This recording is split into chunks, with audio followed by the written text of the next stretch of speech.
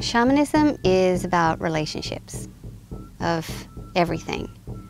The interrelationships through time and space of, um, say, somebody and their ancestors or the descendants. The relationship between their body or their health.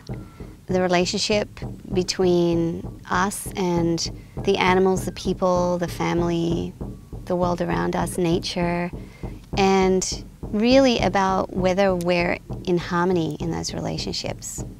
In shamanism, we learn how to work with the energies and the living energies of all of that so that we can bring those relationships into harmony.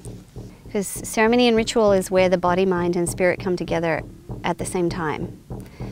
And so when people come to me, I'm listening and I'm tracking where there is a disharmony.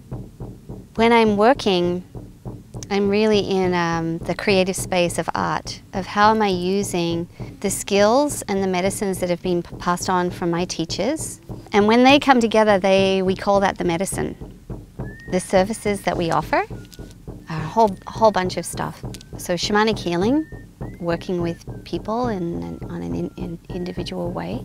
And then ceremony and rites of passage, community circles that people come to for healing and to learn how to do shamanic journeying.